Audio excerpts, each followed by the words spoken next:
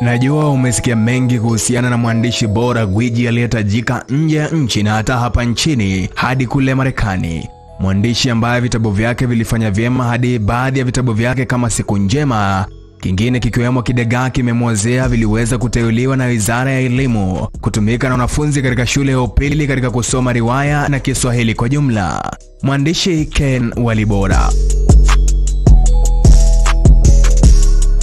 Umesikia kuhusiana na siku aliyozaliwa pamoja na historia yake nzima, lakini mimi leo nitakuelezea kitu kingine tofauti kabisa. Hivi kwamba inasemekana kwamba mitandaoni pamoja na wale waliosoma vitabu vyake kwamba Ken Walibora aliweza kutabiri kifo chake. Je, inakuwaje?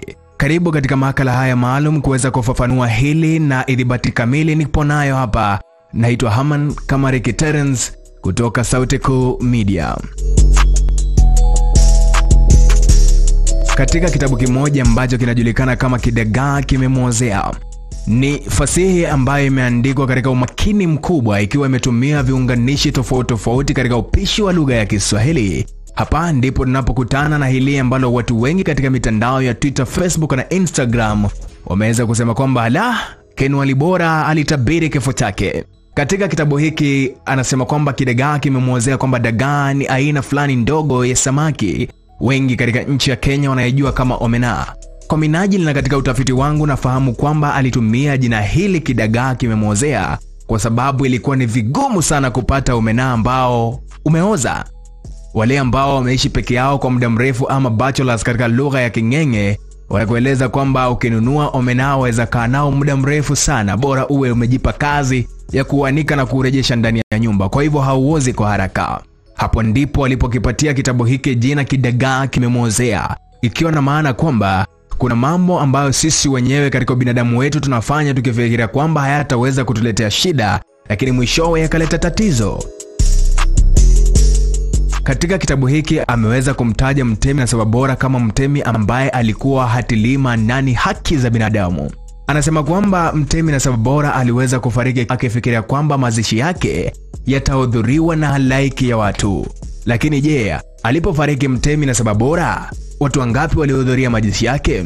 Katika kitabu hiki Kidagaa Kimemwozea, Ken Walibora anaeleza kwamba kwa sababu Mtemi alikuwa anajua, anasifika na kujulikana zaidi, alitarajia watu wengi waweze kufika katika mazishi yake, lakini hayakuwa hivyo. Waliofika katika mazishi hayo walikuwa watu 15 peke yake. Kinaya kidogo, kwa sababu naye Ken Walibora alikuwa ni mtemi katika fasihi andishi na fasihi simulizi. Pamoja na vyote, manake ungesikia akizungumza, ungeona ufashaha fulani wa lugha, na pamoja na mambo mengi ambayo alikuwa anathibitisha kwamba ha jamaa alikuwa ni mwanafasihi hodari. Kwa hivyo ingawaje Ken Walibora alikuwa ni mtemi mkubwa ama mfalme katika fasihi, kifo chake kinalinganishwa na Mtemi na Sababora, kwamba iwapo angefariki wakati janga hili la korona halipo nchini, basi mazishi yake yangehudhuriwa na watu wengi. Lakini kulingana na serikali, mazishi hayo yanafaa kuhudhuriwa na watu wasiozidi kumi na watano. Je, ni sadfa ambayo inasadifu kati ya Kidagaa Kimemwozea na maisha halisi ya mtemi wa fasihi Ken Walibora?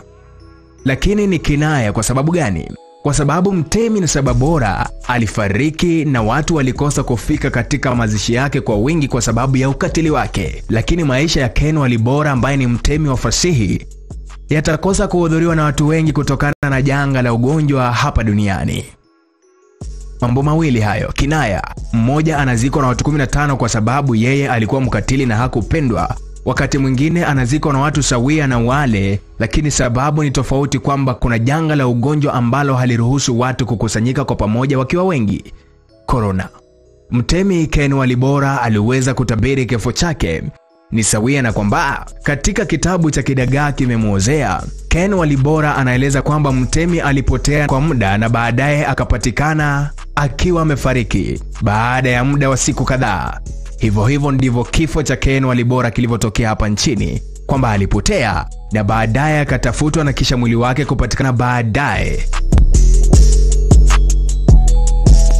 Je, huenda ilikuwa sadfa ama ni katika lugha hii tamu ya Kiswahili ambayo husema kwamba fasihi ni kioo cha jamii na kwamba inazungumzia mambo ambayo yatakuja kutendeka? Ken Walibora nitampa sifa ya mtemi halisi wa fasihi, mtemi aliyesimama katika ukweli na kuzungumza mambo yalo kweli. lakini swala kwamba alitabiri kifo chake linasalia na wewe mwanafasihi ama yule ambaye haujapenda sana kusoma fasihi lakini unapendelea sana kusikiza fasihi. Huenda alitabiri kifo chake au la. Uamuzi ni wako, msikilizaji wangu. Hapo ndipo ametungiwa shairi maalum kwa sababu ya majonzi, huzuni na fikra nyingi ambazo ametuacha nao wapenzi wa fasihi na wapenzi wa lugha ya Kiswahili. Shairi ndio hili hapa. Naitwa Haman Kamariki Terence kutoka Sauti Kuu Media. Huzuni.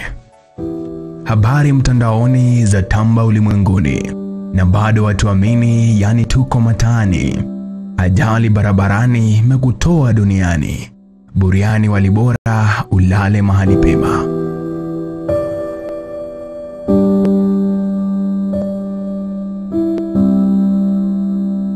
Umesifika shuleni na hata pia vyuoni, sio tu humu nchini, hata kule Marekani.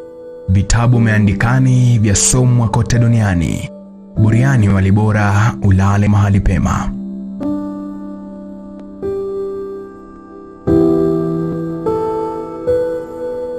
Ulizama riwayani, hadithi ukatupani.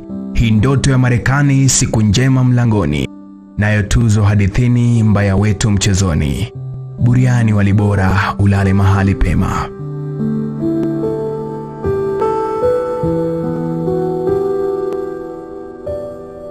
Utabaki mawazoni na hata mwetu moyoni, Uliowaacha nyumbani tawaweka maombini, nafsi tuko safarini takutana peponi. Buriani walibora ulale mahali pema.